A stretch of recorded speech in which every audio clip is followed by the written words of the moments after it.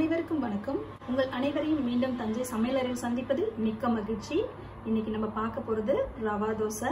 ஹோட்டல்ல செய்யற மாதிரியே நல்ல மொறு மொறுன்னு ரவா தோசை எப்படி செய்யலாம்னு பார்க்கலாம் வாங்க. நம்ம இப்போ ரவா தோசைக்கு இந்த கப்பால் ஒரு கப் ரவா எடுத்திருக்கோம். பாருங்க. நான் வந்து இதோட மெஷர்மெண்ட் வந்து டூ ஃபிஃப்டி ஃபைவ் எம்எல் நான் அந்தளவுக்கு எடுத்திருக்கேன் ரவா. உங்கள் வீட்டுக்கு எவ்வளோ வேணுமோ அதுக்கு தகுந்த மாதிரி நீங்கள் எடுத்துக்கோங்க. நான் அதே மெஷர்மெண்ட்டில் தான் ஒரு கப் பச்சரிசி மாவு எடுத்திருக்கேன். ரெண்டையும் நம்ம சேர்த்துக்கலாம். இது ரெண்டையும் நல்லா சேர்த்து நம்ம ஊற வைக்கணும். இப்போ இதுக்கு தேவையான அளவுக்கு தண்ணி சேர்த்து ஊற வச்சிடலாம்.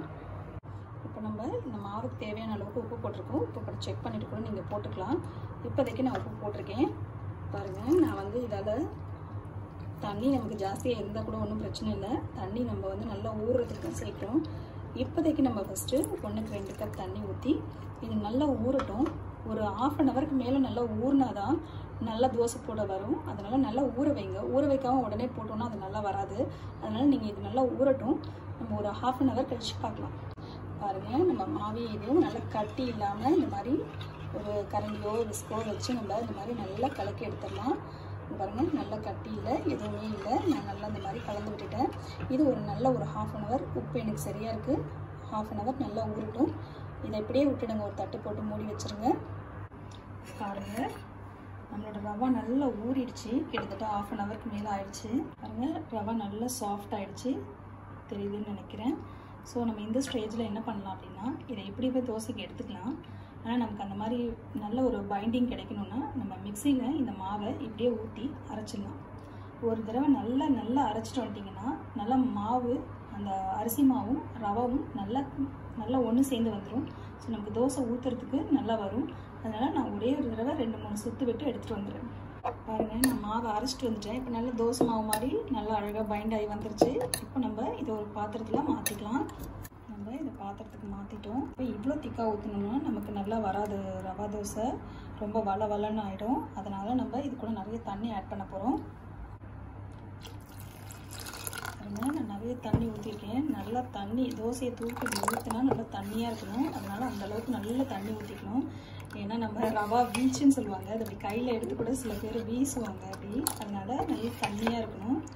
இப்போ இது கூட கொஞ்சமாக பெருங்காயத்தூள் இது கூடவே கொஞ்சம் சீரகம் கொஞ்சமாக மிளகு கருவேப்பிலை கொஞ்சம் போல் கொத்தமல்லி கொஞ்சமாக இஞ்சி நான் துருவி வச்சுருக்கேன். கொஞ்சம் போல் பச்சை மிளகா நான் போடலை. நீங்கள் போட்டுக்கோங்க. என் குழந்தைங்க சாப்பிட மாட்டாங்க. அதனால் நான் போடல. குழந்தைங்க இருக்கவங்க வேண்டாம். இல்லாதவங்க தாராளமாக போட்டு சாப்பிட்லாம். நல்லா பெரியவங்களுக்கு கொடுக்கணுன்னா நம்ம சாப்பிட்லாம். அதனால் நான் வந்து ஃபஸ்ட்டு குழந்தைங்களுக்கு தோசை ஊற்றிட்டு அதுக்கப்புறம் இதை ஆட் பண்ணிக்குவேன். நீங்களும் அது மாதிரி செஞ்சுக்கோங்க. நான் இது இப்போதைக்கு போடலை.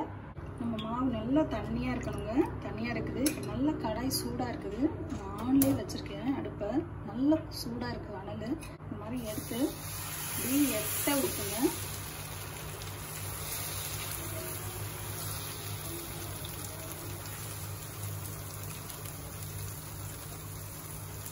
அப்புறம் இந்த ஹோல்ஸ்லாம் நல்லா எண்ணெய் விட்டுக்கோங்க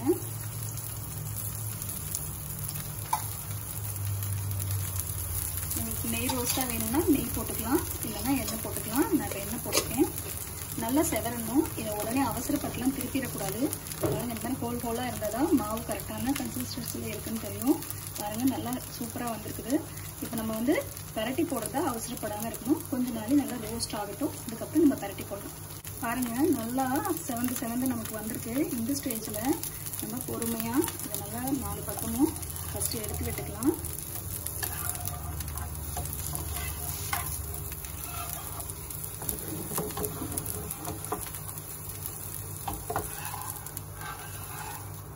எடுத்து எடுத்து போட்டுருவாங்க முன்னாடி செவரட்டும். நம்மளோட மொறு மொறுன்னு கிறிஸ்பியான ரவா தோசை ரெடி ஆயிடுச்சுங்க. பாருங்க நம்ம தோசை நல்லா சூப்பராக ரெடி ஆயிடுச்சு. ரவா தோசைங்க ஹோட்டலுக்கு போகலன்னு யாரும் வருத்தப்படாதீங்க. ரவா தோசையை நம்ம வீட்டிலேயே பண்ணி சூப்பராக சாப்பிட்லாம். பாருங்க இப்போ நம்ம ஆனியன் ரவா தோசை கொடுக்குறோம் கல் நல்ல சூடாகவே இருக்குது அதில் நம்ம ஆனியன் அப்படி ஸ்ப்ரெட் பண்ணிக்கலாம். நல்லா ஸ்ப்ரெட் பண்ணிக்கிட்டு நம்ம அதே மாதிரியே கரண்டியில் இதை எடுத்து இந்த மாதிரி ஊற்றலாம் கல் சூடாக இல்லாட்டி உங்களோட தோசை இந்த மாதிரி ஹோல் ஹோலாக வராது. அதனால் கல் நல்ல சூடில் வச்சுக்கோங்க. ஆனில் வச்சுக்கோங்க அடுப்பு. அப்போ தான் இந்த மாதிரி ஹோல் ஹோலாக வரும். இப்போ நம்ம இதுக்கு கொஞ்சமாக எண்ணெய் விட்டுக்கலாம். அவ்வளோதாங்க நல்லா சிறந்ததுக்கப்புறம் திருப்பி போட்டுக்கலாம். பாருங்கள் நம்மளுக்கு இப்படி சிறந்திருக்கு இந்த மாதிரி ஓரத்தெல்லாம் ஃபஸ்ட்டு கொஞ்சமாக லைட்டாக எடுத்து விட்டுக்கலாம். ஏன்னா நம்ம இப்படி எடுத்து விட்டுட்டு அதுக்கப்புறமா பெருக்கணும் பாருங்கள் நல்லா பரட்டுறதுக்கு வருது. பாருங்க அழகாக ரெடி ஆயிடுச்சு நம்மளோட ரவா தோசை ஆனியன் ரவா தோசை. நிறைய பேருக்கு ரவா தோசைனா அதில் ஒரு தனி இன்ட்ரெஸ்ட்டு அதனால ரொம்ப நல்லா இருக்கும் சாப்பிட்றதுக்கும். நம்ம எடுத்து எடுத்து வச்சுட்டே இருந்தோம்னா சுட சுட சாப்பிட்டே இருக்கலாம். நீங்கள் எல்லாமும் ட்ரை பண்ணி பாருங்கள் ட்ரை பண்ணி பார்த்துட்டு உங்களுக்கு பிடிச்சிருந்ததுன்னா கமெண்ட் செக்ஷனில் கமெண்ட் பண்ணுங்கள் இந்த ரெசிபி உங்கள் எல்லாருக்கும் பிடிச்சிருக்கும்னு நான் நினைக்கிறேன். இது வரைக்கும் நம்ம சேனலை சப்ஸ்கிரைப் பண்ணாதவங்க சப்ஸ்கிரைப் பண்ணிக்கோங்க. லைக் பண்ணுங்கள் ஷேர் பண்ணுங்கள் உடனுக்குடன் நம்ம வீடியோக்களை தெரிஞ்சுக்கொள்றதுக்கு பெல் பட்டனை ப்ரெஸ் பண்ணுங்கள் நன்றி.